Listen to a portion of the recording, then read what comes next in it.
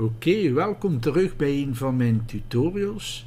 En ik heb direct een vraag. Wist je dat de MikroTik router e-mails kan gaan verzenden zodanig dat jij op de hoogte wordt gebracht indien er iets fout loopt op de router? Of indien je nu ja, wilt dat de MikroTik router dagelijks een backup maakt en doorzendt naar uw e-mailadres. Dit kan je dus allemaal gaan verwezenlijken op de MikroTik router. Maar eerst en vooral wil ik je tonen hoe je de e-mail instellingen moet gaan aanbrengen op de MikroTik router. Oké, in dit voorbeeld neem ik nu Gmail. Waarom? Omdat deze toch wel aandacht nodig heeft om de e-mail verzending te doen slagen.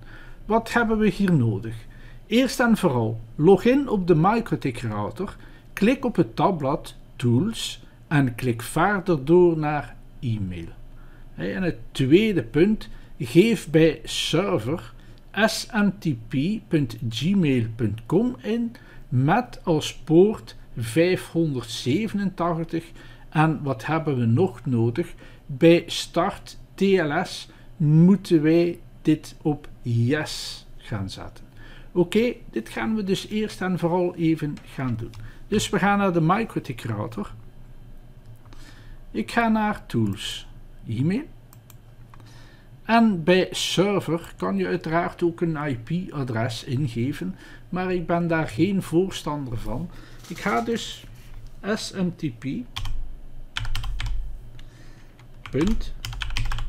smtp.gmail.com ingeven.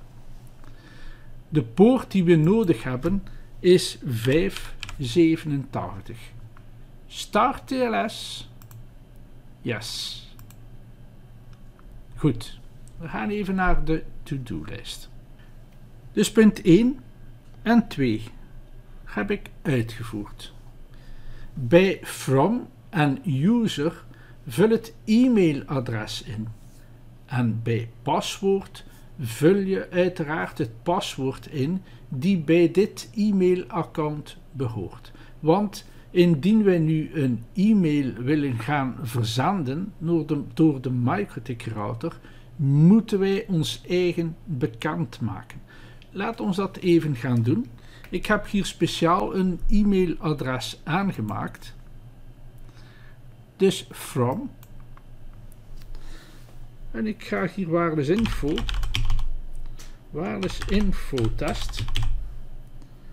at gmail.com ingeven. En ik ga dit hier al gaan kopiëren en plakken, want onze gebruikersnaam is uiteraard ook ons e-mailadres. Oké, en nu moeten we nog een paswoord gaan ingeven.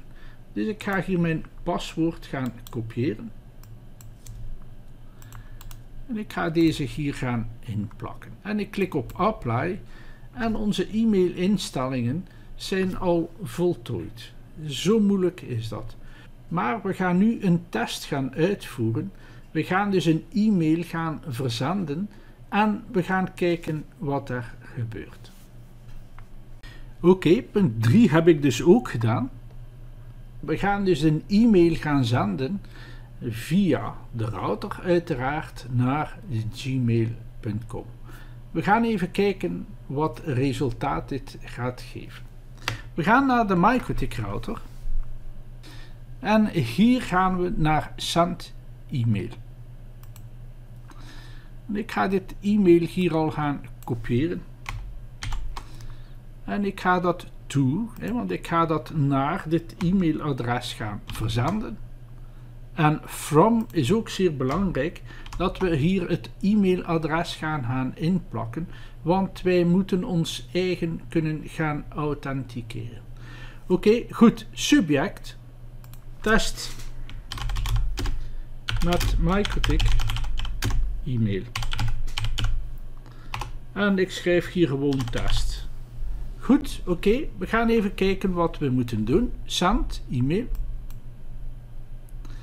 En we hebben hier een error. Waarom? Ligt dat hier aan onze configuratie? Nee. Dit ligt aan Gmail. En we gaan even kijken wat wij hier tegen moeten gaan doen. Dus eerst en vooral ga ik even naar onze to-do-lijst. En ik heb dat stiekem toch wel een beetje verborgen gehouden.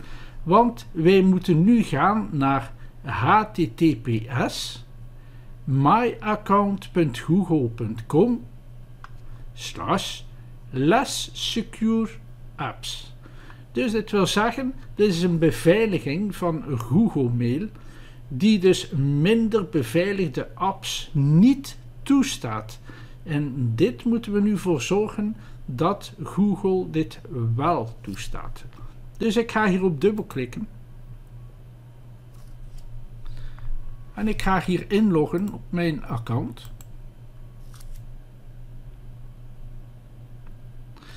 En wat staat hier? Apps met lagere beveiliging toestaan staat dus uit. Wij moeten dit gaan inschakelen. En dit mag hier al gesloten worden. Goed, oké. We hebben hier een kritieke beveiligingsmelding gekregen van Google, want deze heeft wel onze e-mail gezien, maar Google heeft deze geblokt. Wat ga ik nu doen? Ik ga dus gewoon send e-mail. En ik ga terug deze e-mail gaan zenden. En we zien de error hebben we niet meer. En we zien in de inbox twee e-mails. Onze kritieke beveiliging en hier is onze e-mail die afkomstig is van de MikroTik router. Oké, onze e-mail verzenden door middel van de MikroTik router is geslaagd. En wat kan ik hier nog zeggen? Dat indien je nu Telenet wil gaan gebruiken, dat dit ook werkt. Wat moet je hiervoor wijzigen? Uiteraard de uitgaande berichtenserver en ja, je paswoord en je e-mail. Voor de rest kan je alles gebruiken wat je hier hebt gezien.